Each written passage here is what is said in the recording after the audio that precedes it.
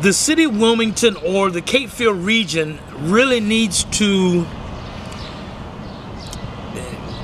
to get jobs or trades in the Wilmington area that people without college educations can have. Uh, and, and, and they just keep failing to do that. Back in the 60s, from what I understand by some gentlemen that were here that were more astute than myself, that General Motors tried to come here and bring a plant to Wilmington. They turned them down because the employees were going to be predominantly black.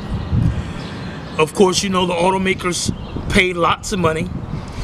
And, they would have been in a socioeconomic status that was way above where they are now.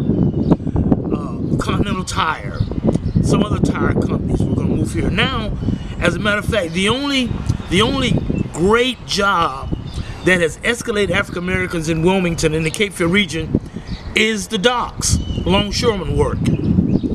And, and, and they, they've done a lot of great things with, with, with that employment. But we need to get more employment as such.